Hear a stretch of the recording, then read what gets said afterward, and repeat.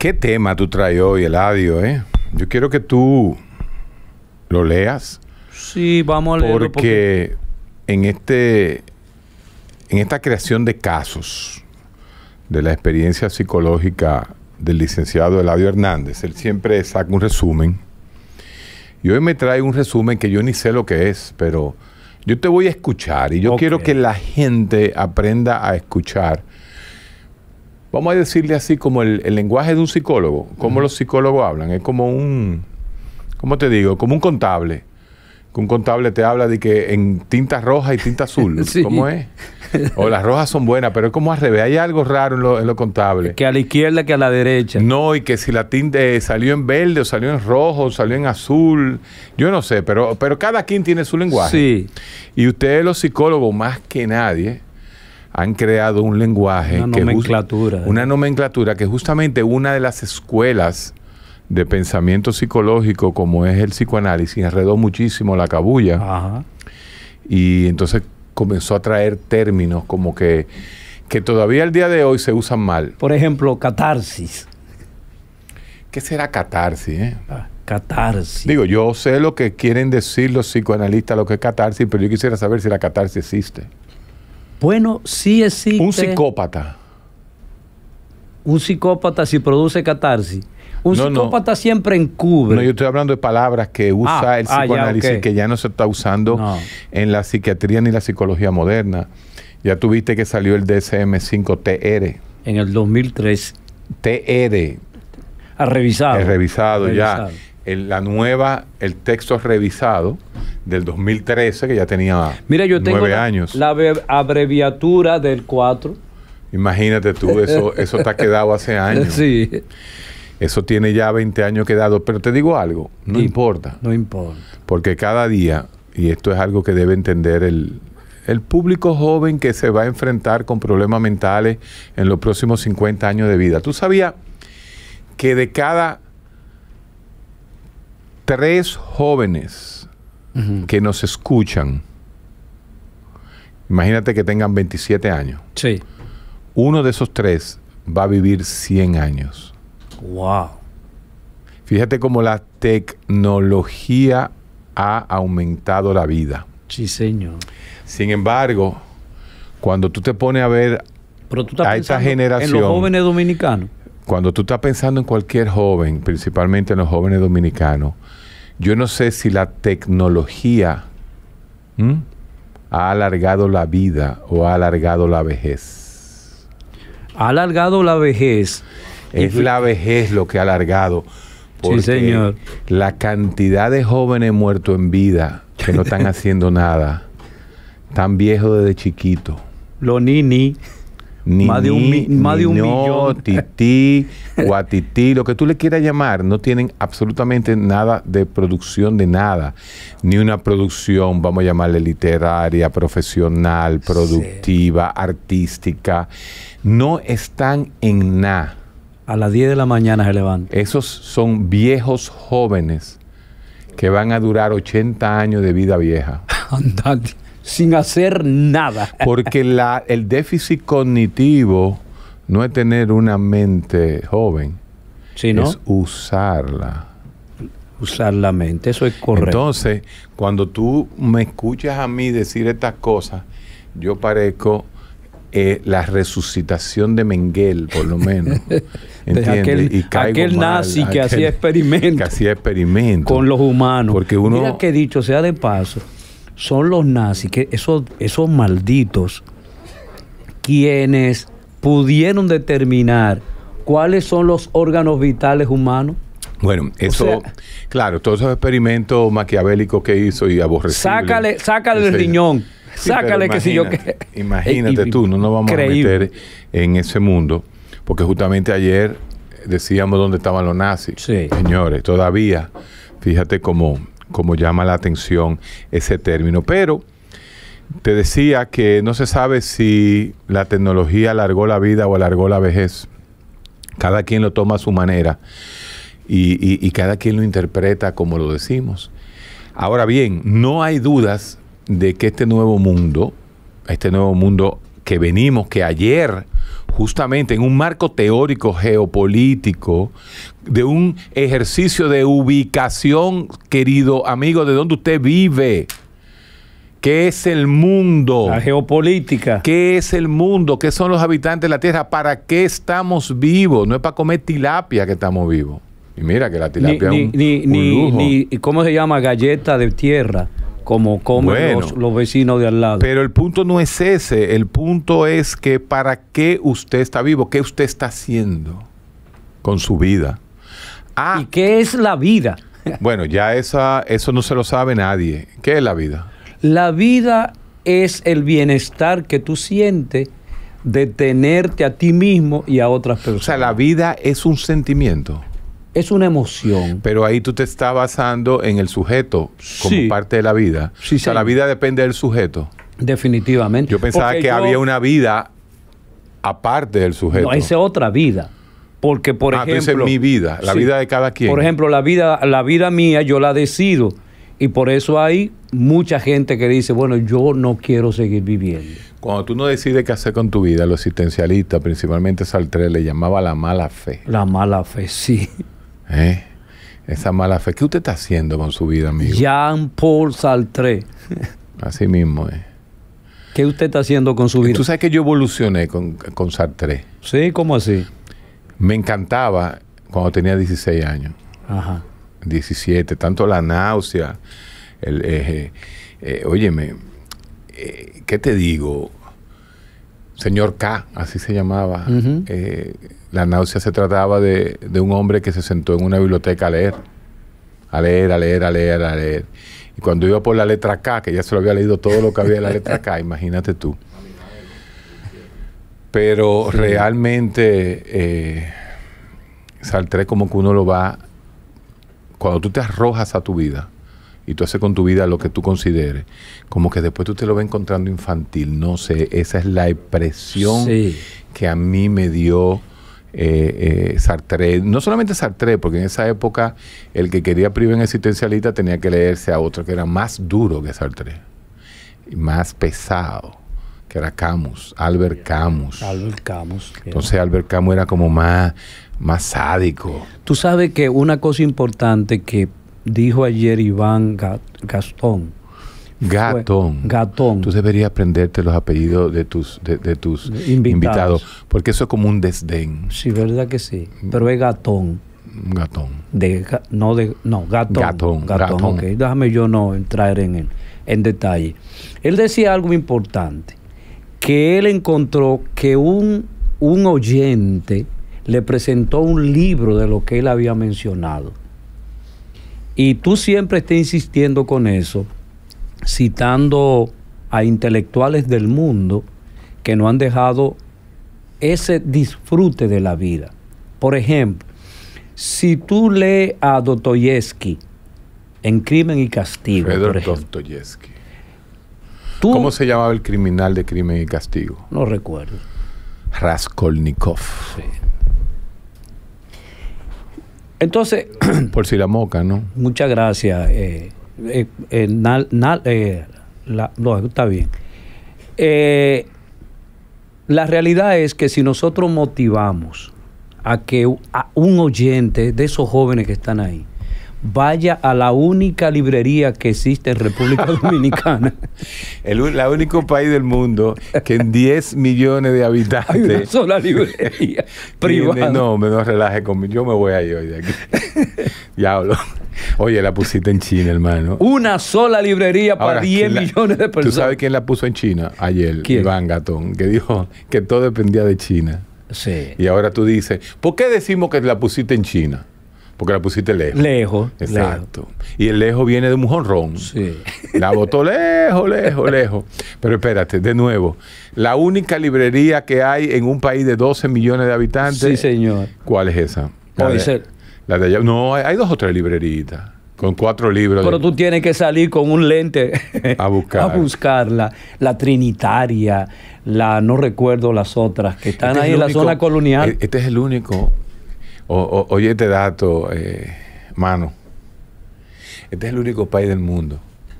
Oye, oye, oye, oye, oye, oye lo que yo voy a decir, para que tú te des cuenta y tú digas, diablo. Este es el único país del mundo donde el periodiquito del metro, donde hay metro, quebró. donde hay miles de personas. Se monta medio millón de personas y el, el, el, el periodiquito del metro quebró.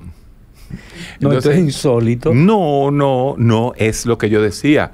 ¿Qué usted hace vivo? Alargando su vejez. Porque tú sabes el disfrute que es tú leer un libro. Por ejemplo, yo te puedo poner ejemplo a ti. Eladio, tú vas a cumplir 85 años. Pues este desgraciado. ojalá, ojalá, ojalá. Yo te puedo hablar de mente brillante, de que están en los 80 años como si tuvieran el primer guandul. O el padrino tuyo duró noventa y tanto, ¿no?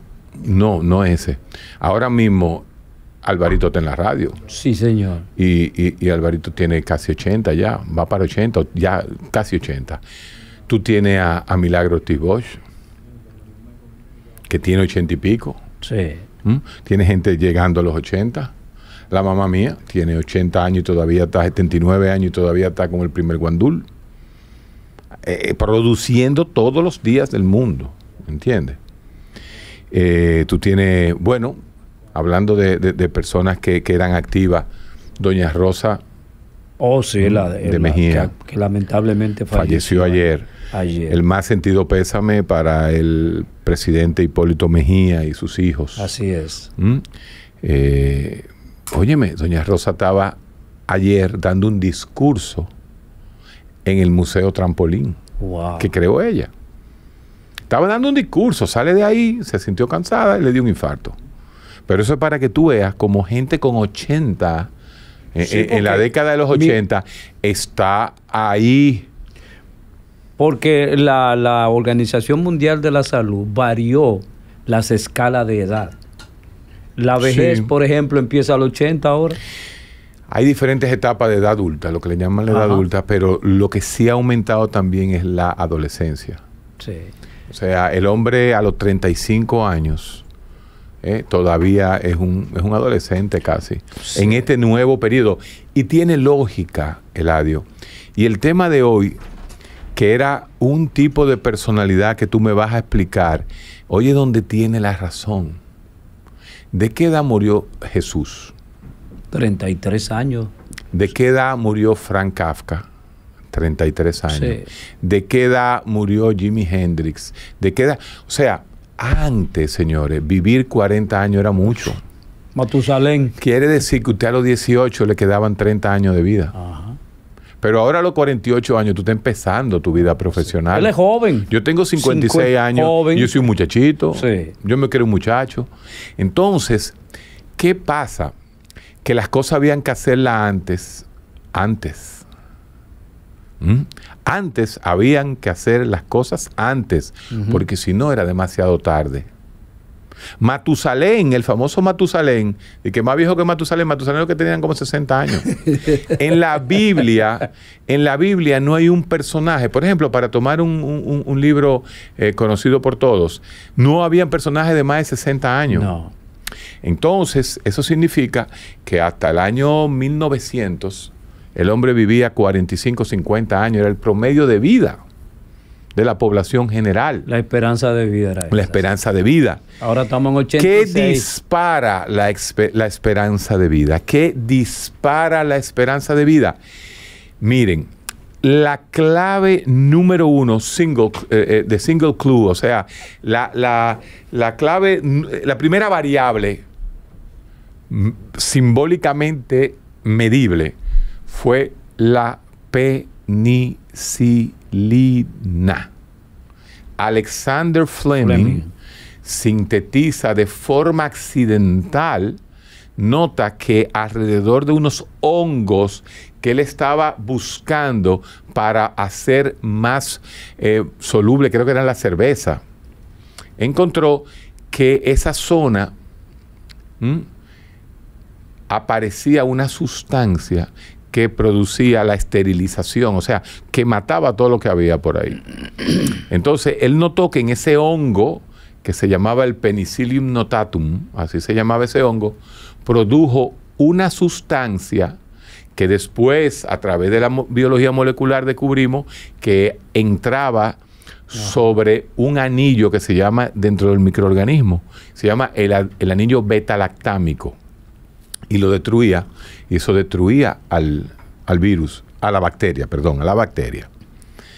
Y entonces, después de Alexander Fleming crear la penicilina, la gente vivía 10 años más. Así. ¿Por qué? Porque antes la gente se moría de, una, de un catarrito, de un covicito se moría. una neumonía bacteriana Pues se fue, se era muerte mismo, segura. sí. Entonces eso subió la vida.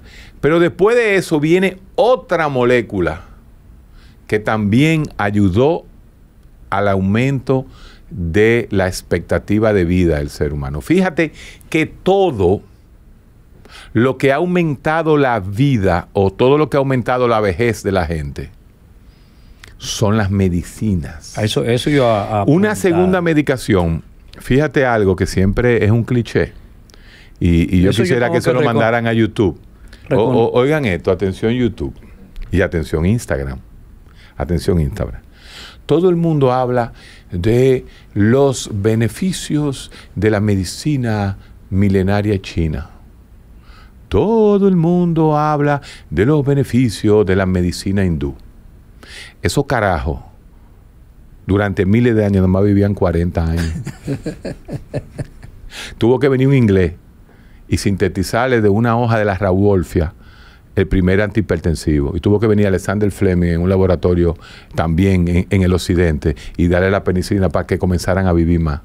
Mao Zedong, cuando se dio cuenta de eso, que decía, coño, pero esta pendeja china, tanto, tanto té y tanta vaina, y la población se moría de 40 años. Ah, no, entonces mandó a estudiar para el occidente. Sí. Mandó a estudiar. Mandó a sacar Ah, muchos Igual que los japoneses. Los japoneses son los japoneses porque en, eh, a principios del siglo XX y a finales del siglo XIX estaban estudiando en Alemania. Así es. Entonces ahí le voy a dar la razón a, a los que eran prooccidentales. Ahí le voy a tener que dar la razón a Carlos Veloz, porque en el occidente lo que había era cristianismo. Vamos a darle la razón. El adiós. Sí, pero una cosa no tiene nada que ver con la sí, otra. sí, tiene que ver. Es que la ciencia, la ciencia no tiene, Sí, tiene ideología. La ciencia no tiene ideología. la Eso es ciencia no, es la ciencia la rompe ideología. Pues exacto. Porque es la, la de- demostración del fenómeno, punto. Es como, es como el problema también que hay. Fíjate eso, salté del tema del cliché de la... de- no, ¿qué tú haces? No, yo, yo practico eh, Ramayana, Mahabharata, eh, Buda, Buda Tai, Buda Te, Buda Tao Se, Buda Vaina. Budapest Señores, es la pero Buda duró de 40 Hungría. años vivo. Buda se murió a los 50 años. Bueno, el tarot es otra cosa. Ya es un invento Ya el tarot de- es un de algunos estafadores. Y lo- las famosas cábalas judías, que también, esas Sí. cábalas judías, esa metafísica judía, ¿no? que es la base de, de- de muchas de las teorías eh, eh, psicológicas. El- la cábala sí tiene algo. La cábala judía tiene algo interesantísimo. Y es que tiene un componente psicológico mucho más fuerte, porque otros libros eh, eran más eh, chantajistas. Sí, pero, eh, pero escucha lo que voy a decir, porque ahí es que viene el punto, para que lo cojas. Chantajista con el miedo. Fíjate esa es la, rea- esa es la razón de la religión. Muchos, ah, muchos, muchos, muchos libros religiosos te chantajean con el miedo. Si no lo mata, te va para el infierno. Ah, Un sí, ejemplo. sí. Pero en las cábalas, en las cábalas judías, hay una serie de trasfondos psicológicos que si tú las analizas te das cuenta que son también una repetición, porque eso es el mundo, un constante repetición sin darse cuenta de la mitología griega. Si tú coges la mitología griega, tú vas a encontrar todas las expresiones psicológicas. Fíjate Ajá. que tú ibas a hablar hoy de una personalidad, que no creo que la, que la vamos a tocar ahora, yo creo que sí, que es un personaje Vamos a hablar de Andrés. de Andrés, un personaje que, bueno, vamos a, vamos a esperar, eh, vamos a dejar este primer in- este introito que hicimos, que nos fuimos por muchísimos sitios. Nos metimos por la medicina Y tradicional. empezamos china, hablando de la vida, ¿verdad? de la vida. De qué tan importante es la vida. ¿Por qué la gente siempre reclama, yo quiero seguir viviendo? Bertolt, Bertolt Y Brecht. cuando llega la muerte, para que tú Eh. continúes, cuando la muerte está cerca, la gente eh, acelera su ansiedad por seguir vivo. Así mismo es. Mira, Bertolt Brecht decía, ¿qué es lo importante? ¿Vivir una vida sin sentido o vivir pocos años con sentido. O sea, Sí. vivir la verdadera vida. ¿Qué es la verdadera vida? ¿Mm? ¿Qué es? ¿Qué es vivir? Que es vivir con intensidad. Pero tú te encuentras también una serie de nihilistas postmodernos. Enilistas. Nihilistas Nihilistas. postmodernos que te dicen a ti, ¿y a ti qué te importa lo que yo haga con mi vida? Eso es, es ¿Quién una, eres Es una expresión tú? muy frecuente. ¿Quién eres tú para trazarme a mí ninguna pauta de lo que yo quiero en mi Buen pendejo. Buen pendejo. Usted me mantiene a mí. Así es. Entonces, en ese nihilismo contemplativo, en ese nihilismo contemplativo, hay, tú sabes qué, toda una generación en la cual ya los estudios científicos están diciendo que esa generación está disminuyendo su nivel intelectual. No lo digo yo, lo dice de Murguet.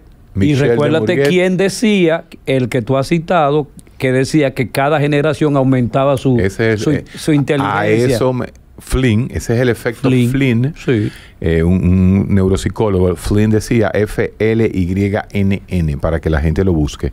Decía que obviamente la tecnología y todo iba haciendo que cada generación fuera más inteligente que la otra. Se- Pero se. Michel, Michel de Murguet, francés, filósofo, educador, neurocientista, principalmente neurocientista, dice, no, no, no, espérate.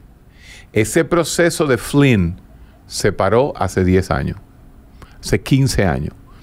Desde que salió el teléfono inteligente, ya la generación post iPhone Se, se, Comenzó- se idiotizó. mm, comenzó un proceso de disminución de la necesidad del recurso cerebral. Y el que no usa el cerebro, ¿qué pasa con el cerebro? Se le atrofia. Y ahí vamos a coger un break y vamos a iniciar con un relato, un micro relato que va a tener el licenciado Eladio Hernández. Andrés. Andrés es un hombre de 26 años que ha tratado con desesperación tener éxito como actor. Sin embargo, solo ha obtenido pequeños trabajos como actor y se le ha, se le ha visto, se ha visto obligado a, a mantenerse trabajando como mesero. A pesar de su falta de éxito, presume a los demás acerca de los papeles que rechaza debido a que son, no son suficientemente buenos para él. Tratando de incursionar en la actuación, ha sido egoísta y explota a cualquier persona que considera una conexión posible. Tiene un gran resentimiento con los amigos que han obtenido papeles de actuación y evalúa sus logros al comentar que solo tienen suerte. Eh, no obstante, si alguien trata de hacer una crítica constructiva, reacciona con ira y se rehúsa a hablar con, la, eh, con una persona o con esa persona durante semanas, debido a lo que él considera su estupenda apariencia, piensa que merece un trato especial por parte de los demás. En el restaurante, Andrés discute constantemente con su supervisor, ya que insiste en que, en que él es un profesional y que no debe rebajarse a retirar los platos sucios de las mesas. Molesta a los demás debido a que siempre busca que elogien su ropa, su cabello, su inteligencia y su genio.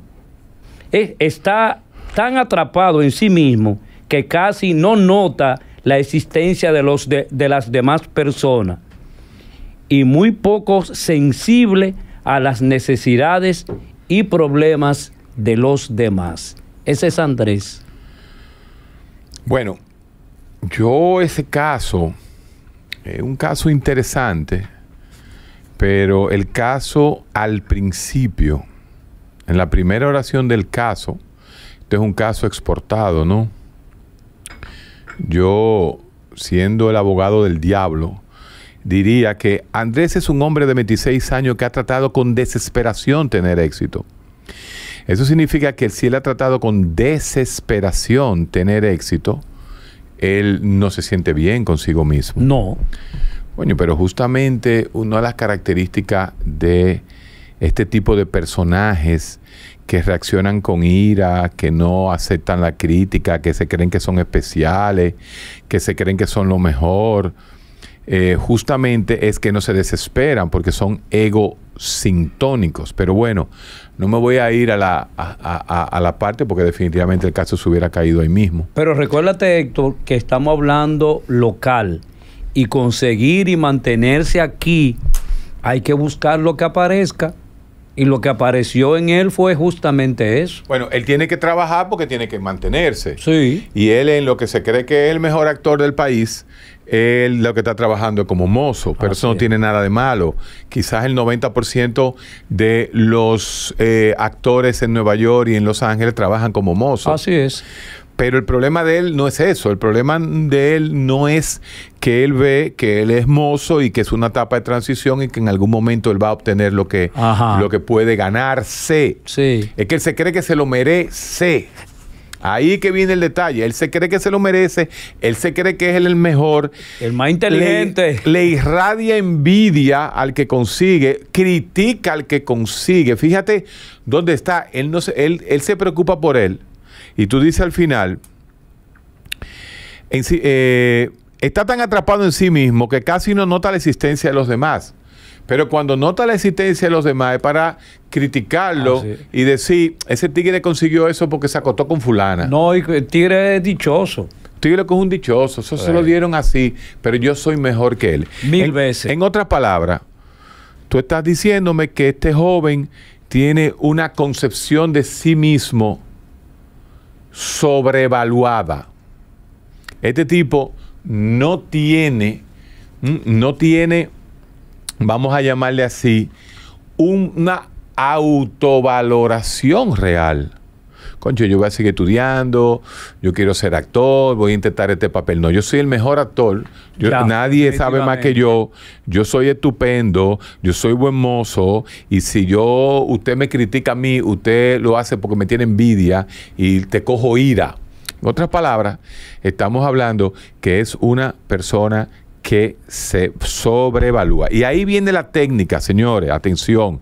Recuérdense que es un psiquiatra y un psicólogo que esté eh, eh, ensayando el caso. Entonces, ¿qué está pasando aquí? Que este señor tiene una sobrevaloración real de su autoestima y de sus habilidades. ¿Mm?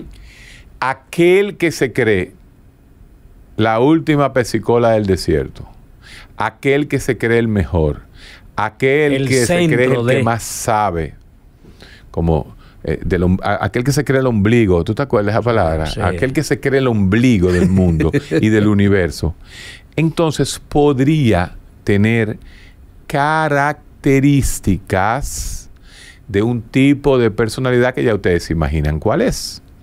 La personalidad narcisista. Pero, atención, el narcisismo está tan difuminado, difundido, esparcido, regado por el mundo, que cada día nosotros los psiquiatras eh, estamos replanteando realmente la severidad de este trastorno o cuando verdaderamente todo el mundo que tiene algo de narcisista se convierte en un problema real. Sí, señor. Porque es que el narcisismo es algo de todo el mundo.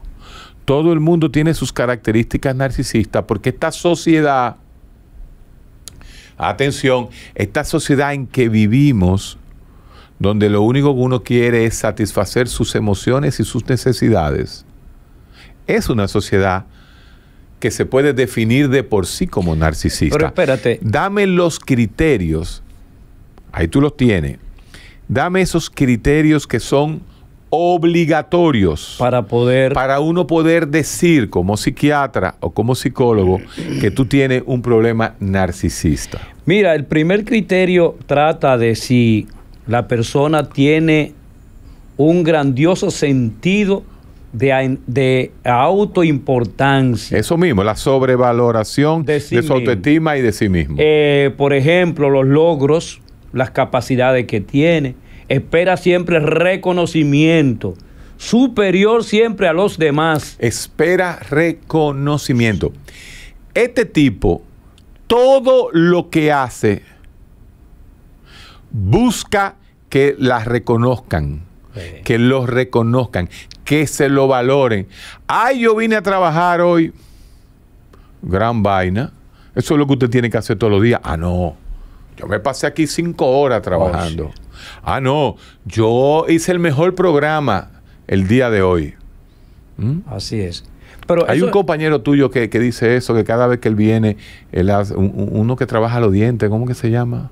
eh, Que él dice que le hace los mejores programas de, de recetario. o ese se llama Guillermo eh, Guillermo. Sí. ¿Guillermo qué? Santana. Ah, Guillermo Santana. Es el que sabe de, de, de, de- de Pero muela. vamos a ver si coincide con el siguiente criterio.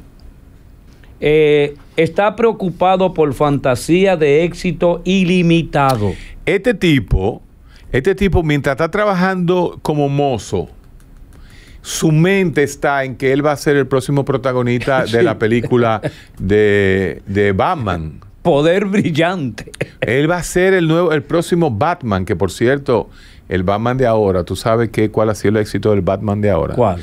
Eh, eh, el trasfondo psicológico de la película. ¿Cómo así? Sí, que ya el Batman nuevo, el Batman de ahora, Ajá. es un Batman más psicológico, más detective. Porque ya la Pero no había una relación entre ese Batman de ahora y, Y Robin, y Robin, que ellos se tomaban de, de la mano. ¿cómo así? Que se tomaban de la mano. ¿Y qué tiene de malo que Batman y Robin se tomen de la mano? Bueno, en nuestra cultura es normal que dos damas se tomen de la mano, pero no sé si tú te tomas de la mano con otras a- Perdón, algunos perdón, amigos tuyos. Yo no soy Batman. Ah, perdón, perdón. Ya, Pero ¿qué tiene de malo que Batman todo eso. y Robin se tomen de la mano? Que regularmente tú lo que quieres que yo diga lo que tú quieres escuchar. No, aquí el único que ha metido ese tema es usted. ¿Verdad que Yo sí? lo estoy interpretando de forma racional, emotiva. Pues mire, yo borro todo lo que dije, borrado está. ¿Te diste cuenta que ibas a meter la pata? Definitivamente, porque yo soy uno de los defensores de. Bueno, continúa. En otras palabras, tú no te atreviste a hablar de la mariconería entre Batman y Robin. Eh, esto, ¿Cuál es el problema? Decir eso. Ahí es donde está el problema, que tú tires el tema y entonces me lo dejas a mí. Eh, Pero el malo soy yo de la película, ¿eh? ¿Eh? El malo soy yo. ¿Cree que es especial el tipo? ¿Crees que es especial? Otro de los criterios. Y único. Especial, único, y que mejor. solo puede ser comprendido No, que- por. y que todo lo que hace Sí. es lo mejor. Es lo mejor. Eh, regularmente eh, es una especie de alto nivel. Pregunto, ¿qué tendría de malo ese carajo? Ah, ¿qué es lo que tiene de malo ese carajo? ¿Qué es lo que tiene de malo? Que el tipo no tiene un amigo. Que el tipo es un tipo que no ayuda a nadie. No, señor. Es un tipo totalmente egoísta. Sí, señor. Los otros días, por él decir que él fue que hizo, eh, el- eh, que se ganó la mejor propina, un muchacho que trabajaba con él, ¿m? que le dieron más propina que a él. Ay, ay, ay, ay. ay, él dijo ay, que ese tigre se robó la propina. Sí. Que no fue que a él le dieron más que a él, sino que él se la robó. El y lo de- votaron. y, y hace historia. Y el, tipo dejó, el tipo dejó el dinero ahí y él se lo metió en los bolsillos. Yo lo vi. La vo- no, lo votaron. No, no. Wow. No, no, no, no. No, no, no, no. Espérate. Espérate, espérate. Entiende el trasfondo psicológico, Eladio. No fue que él dijo que él se robó el dinero porque lo vio robárselo. Él dijo que él se lo robó porque le dieron más dinero que a él. Y creó un conflicto tan grande que lo votaron. Y ese muchacho con eso mantenía a una niña que tenía. Fíjate como el narcisista, por él tener la fama de que a él le han dado más propina que a nadie, y no que a uno le dieron más propina, Ajá, ajá, ajá. hace que lo voten. Entonces ahí viene Wow. la disfunción social de un individuo, El daño social que hace. esa, ese daño que el tipo hace sin darse cuenta, de manera inconsciente, donde comienza el problema. Ese tipo nadie quiere saber de él en el fondo. Sin embargo, todos los escuchan. Y cuando él habla, él es el único que puede hablar. Ese, ese es el detalle para que la gente entienda. Y cuando yo dije lo de la propina y cuando yo dije el hecho de que todo lo que hace Andrés es lo más importante, lo mejor, el que más sabe, ya ustedes tienen identificado a mucha gente en el barrio, o un primo, o una prima, ¿eh? o, una, o, o una, o- una novia, o un novio. Ya ustedes lo tienen identificado justamente. Hay una palabra Tú sa- tú que se abusa en este país y que es un cliché que lo escucho yo a diario en los discursos feministas. Ese es un narcisista Ah, patológico. sí, eso sí es verdad. Ahora, todo hombre ¿eh? que tiene una relación no horizontal con una mujer es un narcisista. Qué vaina, ¿eh? Y eh, ahora todos son narcisistas. Todo hombre que se sienta opacado por una mujer es por narcisismo. No, señores. El mundo está lleno de mujeres narcisistas. El mundo está lleno de mujeres narcisistas. De mujeres que se creen que son el centro de la atención Así es. que se creen que los demás giran alrededor de él. Y Oye, lleg- eso. y- pero llegan a, hacer interpretaciones sociales dañinas. Totalmente. Porque resulta que opacan a ese hombre por el criterio y, y el trastorno que ella tiene de decir que él no puede hacer función, que no puede estar por encima de ella. Entonces, eso Porque es sí- un estúpido ese Entonces, tipo. ahí viene lo que se llama un narcisismo compensatorio, un narcisismo defensivo. Y eso es algo Ajá. que la gente tiene que entender. La mayoría de las personas que nosotros conocemos, que la acusamos o la estigmatizamos como narcisista, lo que están haciendo es defendiéndose de forma narcisista. Que eso sí es común en, en- en este mundo posmoderno.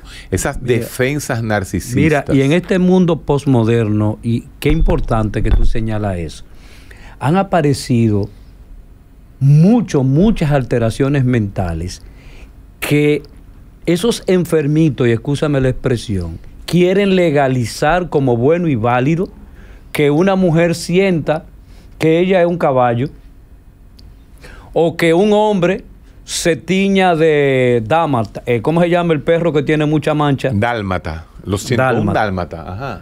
Eh, No, pero. y de- siento, per- perdón, eh, eh, Héctor, y siento de una gran cantidad de alteraciones eh, mentales que quieren legalizar y dicen que si tú dices ¿Cómo algo, alteración mental? perdón, ¿Cómo alteraciones mentales? ¿Cuál es la evidencia? porque hay un concepto De que, se el llama, hombre- oh, ese- mire señor, Pero espérate, papá, porque es que tú metes los temas, los tiras y después cuando yo quiero profundizarlo, tú no quieres profundizarlo, papá. Si tú tiras un tema, aguanta el fuetazo. yo no soy papá tuyo. Eh, no, papá tuyo no, imposible. ¿Cómo va a ser tu papá mío? ¿Tú, tú no tienes edad para ser papá mío? Yo creo que sí. Tú- no, tú no puedes ser papá mío. Óyeme, óyeme, hermano, si usted dice que hay un tipo que se quiere tatuar blanco y negro para parecerse un dálmata y una muchacha que corre como un canguro, ok. ¿Qué, qué, qué, qué evidencia tú tienes de que ese esa persona tiene un trastorno mental? Ok. Hay un concepto que se llama normalidad y anormalidad. Eso no, no pero no existe ese concepto. Escúchame, escúcheme, señor, Te voy a escuchar. que es el que relaciona la actividad y el comportamiento colectivo como bueno y válido. Es que, es, eso- Pero, es- es que no ajá, existe tú un me dices a mí que yo te interrumpo. No existe un termómetro, pero que no existe un, termo- un termómetro científico que me diga a mí dónde está el límite entre lo normal y lo anormal. Ah, sí, ok, perfecto. Es normal que yo salga a la calle y cuando vea a una mujer le, le- le baje los pantalones. No. Ah, entonces, estamos hablando de la convivencia. Pero eso no es una locura. Eso simplemente es un acto en contra de la ley. Bueno, eh, sitúalo así. Ah, lo Te que pasa es que tú todo lo quieres, lo todo lo quieres psicologizar. Te lo voy a aceptar así. Es contra la ley. Ahora, Que tú le bajes los pantalones a una mujer no significa que tú estás loco, ni tienes un problema psicológico. escucha, tú simplemente acabas de hacer algo en contra de la ley. ¿cuántas personas se convierten en caballo, en toro, en mula, para correr por la calle eh, aquí en la, en la Chulchi? Pero cuando Eh, tú va- vas al barrio, ¿con quién tú te juntas? Con ¿Qué? los tigres. que- que- pero el, Ajá. el tigre Cuando tú vas colmado, tú no ves a los tigres del barrio. ¿Y qué tiene eso que Y ver? el tipo que más tigre es un caballo. Pana, estamos hablando. Tú tigre. estás hablando de semántica. La semántica que hace la realidad. Lea Pero, Derrida. pero ven acá. La semántica es utilizada con propósitos. Es que con sí. propósitos, señor. El tatuarse es algo malo. Bueno, desde el punto de vista Es de un la... problema psiquiátrico. No algo malo. No lo voy a, a tratar en el plano eh, moral y ético, no. El tatuarse es una patología mental. No. Entonces, ¿qué diferencia hay de tatuarse? Pero, pero, pero, eh, la es piel dálmata es una discusión. un ancla. Es una discusión. No, pero porque, fuiste tú que pusiste ese tema. Mira, escuche. Tú te imaginas, ayer vi yo, ayer o antes de ayer, a un muchacho eh, tatuado hasta el cuello, hasta aquí arriba. Ok. Y yo me, yo me preguntaba, bueno, ¿y qué va a pasar con ese muchacho cuando tenga 80 años? Con toda esta cosa y todo esto desplegado, con toda esa tinta encima. Se va a ver feo y nada. ¿Qué, ¿Cuál es el problema de eso? No, también tiene un problema de salud, según se ha demostrado aquí. No, no que la estudios. tinta... No, no, no. Qué no, vaina. No, pero papá, no desinforme, papá. Yo no estoy desinformando, yo no estoy desinformando. La tinta, la tinta del tatuaje no produce nada, a menos que te dañada. No, y a menos que los instrumentos que tú utilices estén- Es no estén mismo. esterilizados. En- ahí voy. Entonces, la tinta de por sí, en estado normal, no produce ningún problema. Ok, pero cuando yo me tinto, ¿verdad? Cuando yo me tinto y me pongo eh, y la ridiculez de los negros que se tintan, porque eso se ve sucio, eh, de repente, ¿por qué yo lo hago? Yo lo hago para llamar la atención, yo lo hago y fíjate que todo el que se tatuaja anda con una flanelita para que vean el tatuaje que, Pero que ¿qué ya él tiene Escúcheme, eso? escúcheme.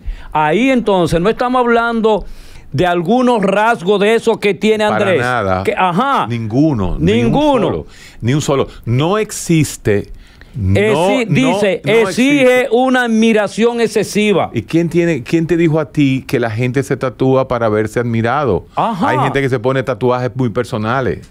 Excepciones. Pero la gran mayoría no es, para exhibir. No existe Señor, un solo marcador de que el se tatúa es narcisista. es exhibir una, No una hay- condición, una condición de violando ex- su cuerpo, señor. Usted se viste para Violando exhibir lo que usted se pone. Mire, usted viola su cuerpo No tiene y no respeta su cuerpo Pero no tiene- cuando usted se pone una ¿Y vaina qué así. tiene que ver eso con el narcisismo? Oh, mírenme.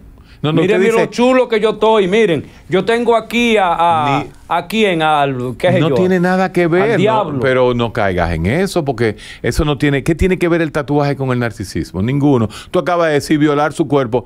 Ah, pero los narcisistas no se violan su cuerpo. Lo- Los, narcisistas hacen culto de su cuerpo. Entonces no se violan. O sea, ¿por qué Hay un- quieres meter? No, pero espérate, que tú te has metido en unos temas que quizá lo- a- a- a- a- al programa le interese más que seguir hablando del casito tramuchado que tú trajiste para traer por los moños la personalidad narcisista. Ay, no, tú acabas de decirlo. No, no, no, no es mal agradecido. Es que ese muchacho es un narcisista cualquiera.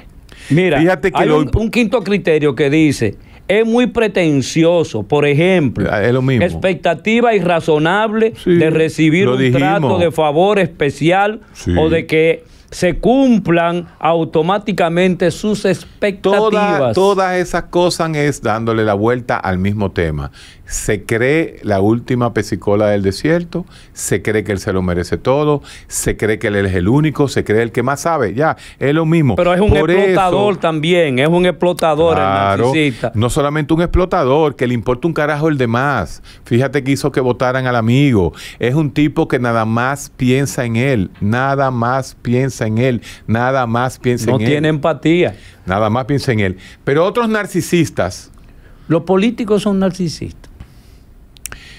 Todo ser humano, según Madeline Klein y todo el grupo que ha estudiado Kohut y todos los que han trabajado lo que son los trastornos de personalidad, tienden a decir que todo ser humano en este momento de la vida tiene que tener defensas narcisistas para enfrentarse a los demás. Hay una canción, hay una canción de Julio Iglesias, el viejo Julio, que dice, vuela amigo, ¿tú sabes a quién se la cantó esa canción una vez? Bueno, se la cantó de que un día en, en una fiesta Hipólito Mejía. Le decía, vuela amigo, vuela alto, vuela paloma en el mar. Sí. Vuela alto porque si vuela bajito Te tiran a matar. Te Te tiran a matar. Entonces, te está diciendo, vuela amigo, vuela alto, vuela paloma en el mar. No, no, no, no, al- qué sé yo. La vaina es que Mano, si tú te vuelas canta- bajito te, van. Te canta feo. Yo no sé cantar, Ah, hermano. Yo no sé cantar. Yo no soy cantante. Simplemente estoy tomando la referencia de esa canción Leonel. Fernández es narcisista. Te la puse ahí. Tu amigo que viajaste con él en un avión. Leonel Fernández no tiene criterio de personalidad narcisista. Ajá. No, no la tiene. Ah, entonces tú me preguntas, dime tú por qué la tiene. Y, y el señor No, que pero, no- pero, pero, pero, tú- pero, pero no dispare, disparate, que los muchachos van a saber ¿Cómo que, tú- disparate? Pero- ¿Cómo que disparate? Pero tú dices, ajá, dime por qué él es narcisista. Bueno, ¿cuál es la referencia de la intelectualidad en República Dominicana según él? Él no dijo que los dominicanos no conceptualizábamos. Pero tienes razón. Oye, el otro. pero, eh, tú acompañas a, a Leonel Fernández entonces. Y aquí se conceptualiza. Aquí, en serio. Pana, estamos, estamos en la radio. Tú sabes que nosotros siempre hemos hecho un programa hablando las cosas como son. Aquí se conceptualiza. Sí, pero, Aquí se conceptualiza. pero tú no tú- puedes tú generalizar a 10 millones de personas diciéndole que no conceptualizan. No, cuando eh, aquí hay personas. eso es una metáfora. Señor. Eso es una metáfora. Ese señor entiende que él es predestinado. No, eso no es lo que él dicho. Él dijo que aquí no se conceptualiza. Predestinado. O sea, No, solamente eh, él. Esa es una interpretación tuya de él. Bueno, ¿y qué? Él dijo la palabra, interprete sus palabras. Aquí no se conceptualiza. Pero aquí no nos pasamos el día entero tú y yo diciendo que, que, que la gente está muerta en vida. Que aquí nadie está tirando para adelante, que nadie está produciendo, que nadie lee. ¿Eh? O aquí no decimos nosotros que el sexto es primaria. Entonces, ¿tú crees que un país con un sexto de primaria puede tener conceptualización general? No la tiene. Entonces, no me venga tú a decir que porque Leonel Fernández concentró en una, en, una, en una oración eso, ahora él es narcisista. Eso no tiene que ver con narcisismo. Por eso es que se ha relajado la psicología. Por eso no te es que ahí, cada no- no te día. metas ahí, no te por metas eso, ahí. no, yo me meto más que tú, porque yo sí trabajo la psicología todos los días del mundo.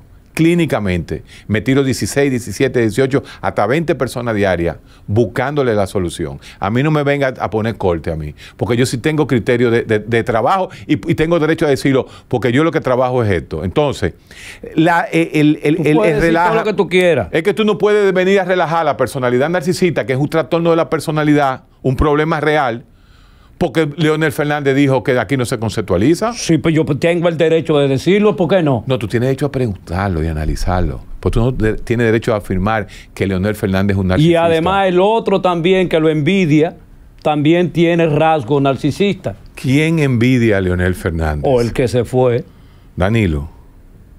sí lo envidia por su supuesta intelectualidad de, de, de ¿cómo se llama? De Leonel.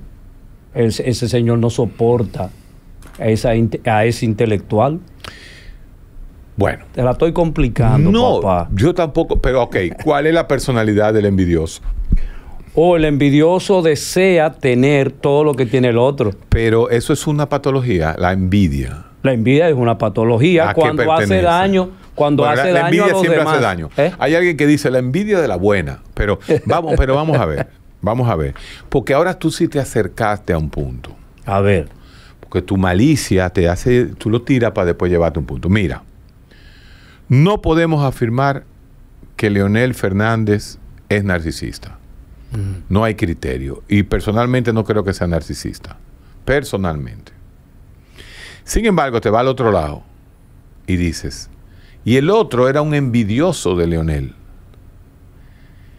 Tú dices, bueno, pero ¿qué significa ser envidioso? Ah, criterio diagnóstico, eso no existe, porque la, la- la envidia es simplemente un sentimiento. Una No, es una, emoción. no, no es una emoción. La envidia es un sentimiento ya. La, la envidia tiene, para que la envidia, una cosa que tú digas, diablo, qué camiseta más bonita. No, la envidia ya es una emoción que se ha trasladado, se ha Se ha deglutido, aprendido, se ha aprendido. aprendido y es un sentimiento. Ahora sí estamos hablando. Entonces, coño, estos dos carajos hoy están hablando aquí, eh, el psicólogo y el psiquiatra. Pero al final, al final hay un hecho. ¿Cuál es el hecho? El hecho es que la división de ese que usted le dice narcisista y de ese envidioso provocó el colapso de un partido y lo sacó del poder. sí. Entonces tú dices, ay, coño, pero entonces Eladio como que como que lo que dijo no no es técnicamente como- Guerrero dice que no es esto, pero al final dañó a dos. ¿Cuál es el problema final de un trastorno de la personalidad? No es que el tipo no tira para adelante Sí. o que se jode la cosa.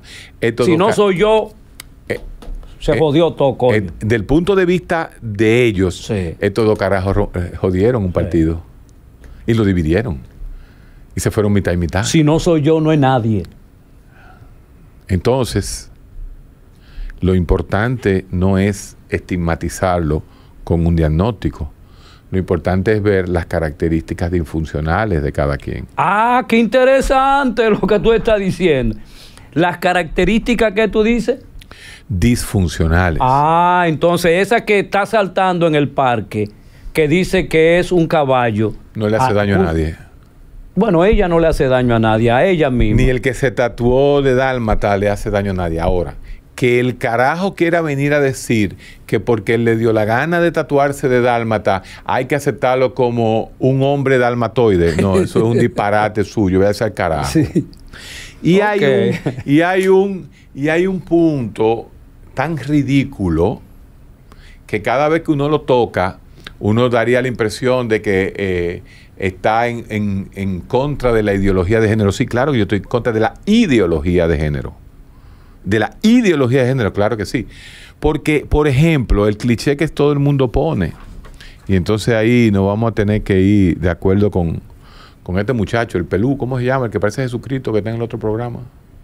Un balbú, él. Que tú te tiras mucho con él. Un blaquito, él. No, no, no recuerdo quién. Que era es hijo de un amigo de mi papá. Bueno, eran amigos cuando estaban vivos. Muchacho, un blanquito, él. Que pone unos lentes oscuros. No, no, no, no, no, no me llega. Eh, Sí, que tiene una melenita, cabellito bueno, con una melena. Ah, que viene aquí. Sí, sí, Ah, el el- programa antes de Antes nosotros. de nosotros. ¿Cómo se llama el programa? Eh, Esto no es radio. buscando radio, una cosa. Casal, Casal. Ah, me acordé. ca- Por ya, Casal, Sí, ya. Casal. Mira, hay que dar la razón a Casal. Porque dime tú, este problema del transexualismo, ¿Cómo fue? óyeme, ok, usted quiere hacer con su pene lo que le dé la gana, hágase lo que le dé la gana. Si usted se quiere poner ahí una vagina, otro, otro fundillo, lo que usted quiera. Cortárselo. Pon- Ponga, hágase lo que le dé su gana.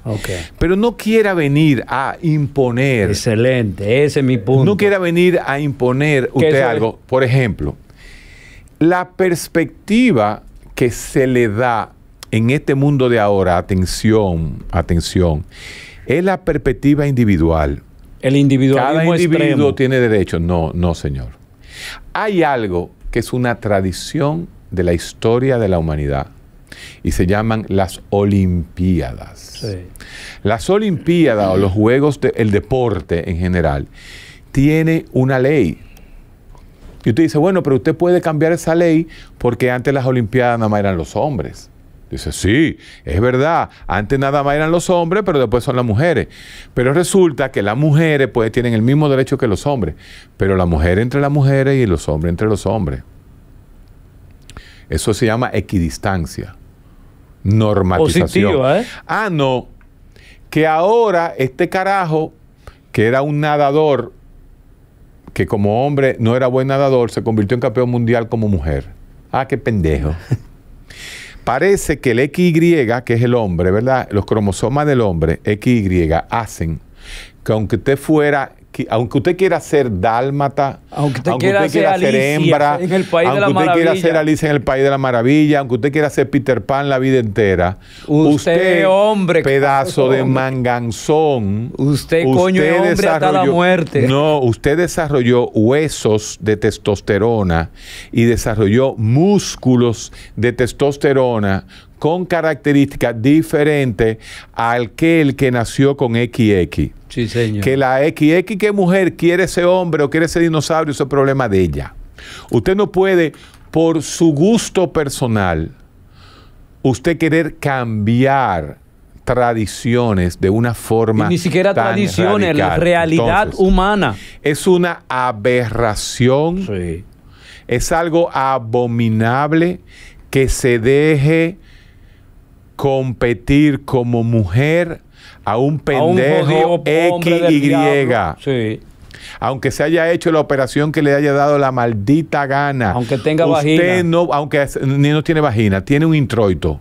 Ah, ¿Qué es lo que es un introito? Un introito, un espacio que se le abrió. Andar, diablo. Eso no es vagina. Por usted, usted vino a los programas con el, con el doctor Gabriel de Peña y tú lo sabes. No, no, no, no. Se le hizo un introito. Usted se quiere creer lo que se sea, pero usted no puede ir a competir, pedazo de manganzón, XY, que ya usted desarrolló músculo XY contra una mujer que son XX. Entonces, eso es el colmo de los colmos.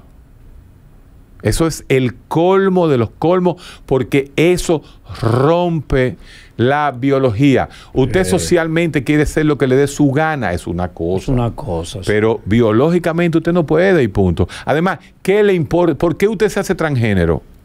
Para competir en algo que está establecido. ¿Usted quiere romper esquema? No. Usted es un abusador. Inclusive hay un, hay un caso de hombres transgénero que se meten a vocear contra mujeres. Desgraciado. Y, le, y las matan. La matan por Entonces, por favor ¿Hasta dónde vamos a llegar los extremos? Usted hace con su cuerpo, como nosotros como psiquiatras, lo que le dé su gana. Si usted quiere tatuarse de, de, pavo real, hágalo. Pero eso no significa que yo tengo que aceptarlo como un pavo real. ¿Eh? Porque ese, es el, ese es el punto, señor doctor Guerrero. Ese es el punto. Y, ese punto, yo no sé por qué llegamos a este punto. Pero yo, yo quiero que tú me digas a mí. Ahora, espérate. Los seguidores, los seguidores de Leonel los seguidores de Danilo tienen también la tendencia narcisista que tienen esos sujetos, uno de envidioso y del otro que digo yo, que tiene rasgo narcisista. Sería una locura de nosotros decir plantear eso. Una locura, algo. Pero ¿y cómo yo, cómo yo te sigo? Eh, ¿Cuáles son las condiciones para yo seguirte a ti como dirigente como amigo. Pero quizás como dirigente tú suple una necesidad que yo no tengo, una necesidad existencial. Quizás un narcisista no siga a otro narcisista. A los narcisistas. Ah, interesante a los narcisistas lo siguen los dependientes. O sea, un narcisista no sigue otro narcisista porque lo ve como su competidor. Entonces, papá, eso, eso está clarísimo. Entonces, realmente yo no veo cómo comparar eso. Yo no puedo decir que eh, ahora. A ver. Ahora, porque tú siempre dices algo, yo te digo que no y después te digo que sí. ¿Cuál es, o cuál era, porque ya no lo es, ya es de ladrón, pero cuál era la imagen que daban los seguidores de esos dos jóvenes wow. hace 25 años? Ellos se sentían orgullosos de pertenecer al partido, que ellos estudiaban en un círculo de estudio, que ellos se creían que yo era... La ética y el álbum de la corrupción. Uy, hicieron el primer álbum de la corrupción y ahora, ahora, ahora pueden hacer un álbum de la corrupción en cada institución que ellos fueron. Diablo. Yo me acuerdo. El tiempo y la vida, coño. el país se dividía entre ellos. La chamuchina, la chamuchina y ellos. Wow, la historia humana, ¿eh? Así Héctor, la historia humana. La historia. ¿Cómo coloca las cosas en su lugar? No las coloca en su lugar. La misma gente se busca su lugar. Cada quien se busca su lugar. Bueno, vamos a escuchar algunas eh, opiniones Bueno, de lo que hemos hecho el Hoy, día de hoy. hoy hemos surfeado una, una personalidad que la vamos a seguir tratando, señores. la- el narcisismo, ya yo personalmente como psiquiatra no lo veo como, como una patología. Primero porque no hay medicación para eso. Segundo, no van a terapia. No, porque- ¿y para qué? Si yo lo sé todo. Entonces, el narcisismo hay que verlo ya casi como una figura psicosocial, una figura social, como parte de la sociedad. 809 Vamos a ver 566 9393. 566-9393. Alguien que opine del tema de hoy, que diga lo que Dios quiera. Vamos, vamos, vamos a, a- a teorizar un poquito sobre este tema, las cosas que hemos hablado. Hablamos, hemos hablado una hora y media de muchísimos tópicos. Así es, desde empezando de la vida. de la Buenas. vida. Sí, así comenzó el programa. Buenas. Sí, saludos, buenas. Sí, bueno, sí, buenas. Diga Sí. usted. Eh, es que ustedes hablan demasiado temas. Uno siempre está interesado. Cada vez que ustedes tengan un tema, pausen y cojan llamadas para uno poder opinar. ¿Verdad que sí? Sería bueno. No, pero Sí. así se cae la dinámica. Es verdad, Yo pero tú tengo- tienes razón. Tocamos demasiadas cosas hoy. Sí, yo tengo, aparte de esto eh, que ustedes están planteando, también tenía una duda que ayer manejando se me ocurrió y dije, desde que llame se la voy a hacer al doctor, a los doctores. Eh, las personas, porque ahora se está utilizando mucho el emprendedurismo, Sí. Entonces, la mentalidad del emprendedurista, de- del emprendedor, tiene que ver con narcisismo. sí, definitivamente que sí. No, no es que son narcisistas, es que el discurso, sí se puede, sí se puede, usted puede, vamos para adelante, usted eche para adelante, actitud positiva. Sí, No, cla- claro. Y no nada más eso, si se nace o se hace. No Esa era la, la cuestión mía. Y ahora con hace. ustedes con el Wow. narcisismo, entonces quise, lo escucho en, en la radio. Mira, esa es... Interesante. ¿eh? Si usted quiere poner un tema interesante, pregunte de cualquier fenómeno humano si se nace o se hace. Sí. Porque ese es un tema que siempre... No hay duda de que hay muchachos que nacen líderes desde chiquito. Hay muchachitos que tú lo ves desde chiquito que están comandando a los, Los otros. extrovertidos, Entonces, uno hereda un temperamento que tiene características narcisistas, no hay duda. de eso. temperamento es hereditario, eso no Pero se cambia. el narcisista no significa que sea el líder, ¿eh? No. Hay líderes narcisistas, obviamente. Muchos líderes se engrandiosan de una forma tal que dan la apariencia de ser narcisistas. Así es. Pero la mayoría de los líderes tienen que tener otro tipo de inteligencia para hacer. Pero los el emprendedurismo tiene un discurso narcisista, porque la sociedad posmoderna tiene un discurso narcisista como necesidad de la hiperproducción. Ahí es donde está el detalle. Buenas. Buenos días. Diga usted. Este programa del día de hoy Díganos. eh, es increíble. Gracias por porque usted existe. Por todo lo disparate que decimos aquí. No, no, no, disparate no, viejo. Mira, de verdad que si los dominicanos pusieron un poquito de atención, ese programa de hoy estuvo brillante porque yo que tengo un compañero de trabajo que se lo he explicado más de 10 mil formas, Sí. es ser un narcisista, que es, oye, el ejemplo vivo, vivo, Sí. porque ustedes creen. Así es. Todo el mundo tiene un, un narcisista al lado. Héctor, yo espero que ese programa lo suban a YouTube, porque lo- de que lo suban se lo envío. Mira, refléjate ahí, mi hijo. Vamos a estar de. Así mismo es. Gracias, hermano. por Gracias. Buenas. Explotaron las líneas. Buenas. Sí, buenos días, ¿cómo están? Bien. Diga usted. Le habla Jonathan del Bronx. Hola, Jonathan. de ustedes. ¿Tú eres narcisista, Jonathan? No, Ah, digo, no, me, no me considero, tengo rasgos narcisistas. o Pero sea, tú tienes alguien al lado que es muy narcisista. Alguien cerca. Demasiado. Creo que ustedes me, estaban- me estaban mirando por un huequito y estaban describiendo a un ex compañero mío de trabajo. Sí, me estuvieron viendo y, y todos los rasgos que vieron aplican a ese caballero. Y el tipo no le importaba a nadie. Nada más vivía para él. Eran un grupo de cinco y tenían una pequeña eh, grupo como de un programa Sí. y se desbarató porque la, los las orden eran la élite. Nadie podía opinar y lo que él se... Ahí llegaba, cuando, si se acabó el programa, ahora mismo cerramos, pum, pum, y yo todo el mundo tiene que quedarse callado. Desgracia. Pero eso es lo mismo que hace Eladio en este programa aquí. Oh, el año de nosotros. Era de usted, así, del Bronx. Muchas gracias. Eso sí es verdad. Ese es el del Bronx. Buenas. Voy para allá el jueves. Oh. Tal vez tú quieres que te esperen allá. Buenas. Hello. Buenos días. Buenos días. Eh, sí, mira, yo quiero preguntarle, porque tengo una duda, ¿cómo yo me doy cuenta si yo soy narcisista? ¿Te lo han dicho? ¿La novia tuya te lo ha dicho? No, porque yo creo que sí, porque así como la persona, el emprendedurismo, como estuvieron hablando del emprendedurismo, Sí. yo me considero una persona así. Bueno, eso no es malo. Tú te tienes que autovalorar tú mismo. La autoestima está, tiene que estar presente.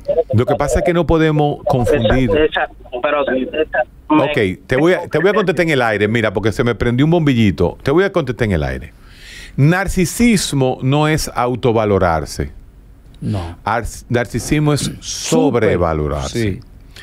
Usted tiene todo el derecho a valorarse y sentirse bien con usted mismo. Ahora usted no se puede sentir el único, el mejor. Usted se puede sentir ser bueno, pero no el mejor.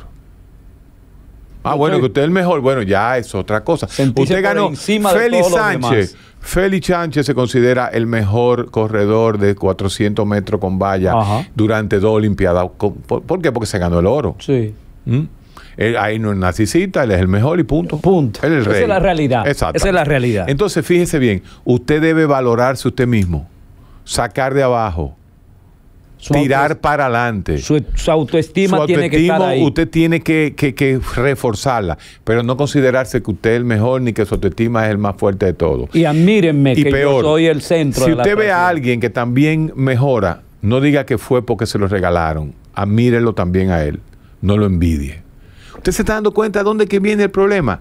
El problema está que el narcisista nada más no se quiere él. Él no quiere a más nadie.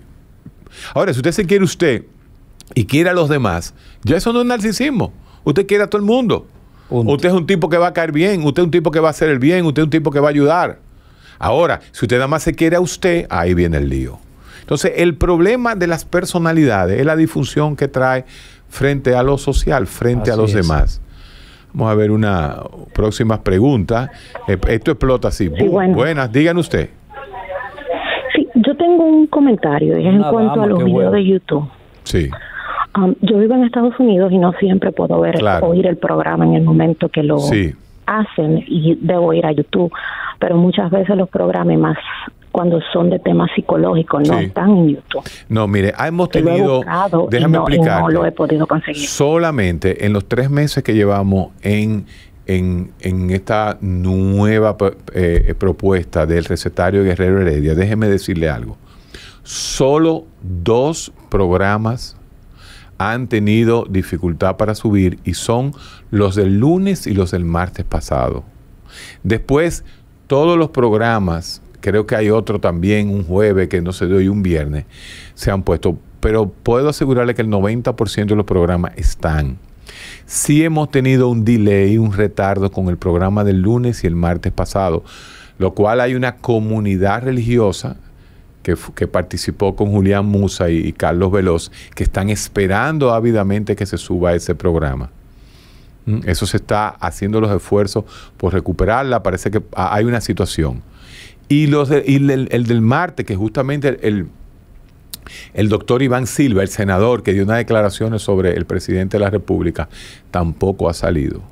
Pero no es ninguna teoría de conspiración, ni es nada Pero la de eso. señora tenía una pregunta. simplemente. Entonces, eh, sí, la mayoría están subidos, ¿no? Pero qué bueno que ella, ya, Sí, ella dice sí. eso Ajá. para nosotros aclarar. ¿Cuál es su pregunta, mi Quiero doña? aclarar, hay, hay, hay de miércoles que yo lo he buscado porque hasta he llamado y lo he buscado para oírlo nuevamente Wow. porque, como le dije, tengo niños con eh, um, déficit de atención y se han tratado esos temas. Eso y está lo ahí. he El de déficit para- de atención Sí, está ahí. sí, Oye, ¿qué tratamos. pasa? Oye, ¿qué pasa? Hay a veces un problemita y es que el tema y el título con que sale el programa quizás no sale eh, eh, el déficit de atención. Yo creo que el déficit de atención lo tocamos un miércoles. Sí, fue un miércoles. Pero quizás el, el título de, de- de- del programa que sube a YouTube no tiene nada que sugiera déficit de atención. Yo te prometo que Eladio Hernández hoy va a investigarte y mañana, mañana él no viene, mañana es su día libre, él te va a decir cuál fue el título que se le puso al tema de déficit de atención, porque yo estoy segurito, segurito, segurito que está, eh, eh, eh, está pautado en el YouTube y tiene muchísimos views, pero nosotros te lo vamos a buscar por ti. Señores, mañana yo traigo a un ícono de la medicina dominicana. Estamos hablando de los ochenteros, de cómo los ochenteros todavía están operando con, micro, con microscopio haciendo neurocirugía. ¿Tú sabes quién yo te traigo mañana? Dime. José Joaquín Puello. Wow.